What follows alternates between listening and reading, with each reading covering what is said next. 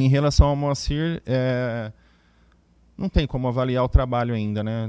É, foi jogo em cima de jogo, ele chegou tem, tem duas semanas com, com quatro partidas, sem tempo nenhum para treinar. Ontem foi o primeiro treino que ele conseguiu dar com os dois grupos, né? O grupo que participou do jogo e o grupo que não participou do jogo. Foi a primeira vez. Hoje vai ser praticamente o segundo treinamento que ele, que ele vai conseguir dar.